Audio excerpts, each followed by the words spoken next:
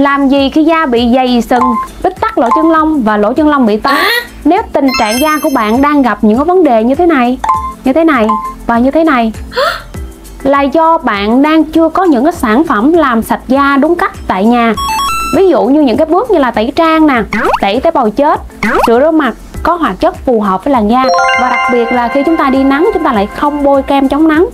Việc lựa chọn những cái sản phẩm phù hợp cho cái uh, làm sạch da tại nhà là một điều cực kỳ quan trọng. Đối với tình trạng da của bạn đang gặp cái vấn đề này thì hoàn toàn có thể tự điều trị tại nhà. Khi mà chúng ta có được một cái routine, một cái phát đồ điều trị chặt chẽ, theo cái sự hướng dẫn đầy đủ, thì chúng ta hoàn toàn có thể loại bỏ được cái vấn đề sần sùi, bít tắc, lỗ chân lông và lỗ chân lông to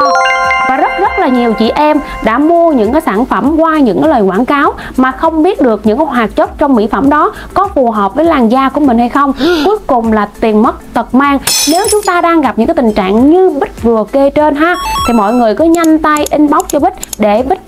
chia sẻ tư vấn cho mọi người tìm ra những cái dòng sản phẩm cũng giống như là những cái hoạt chất phù hợp cho làn da của mình nha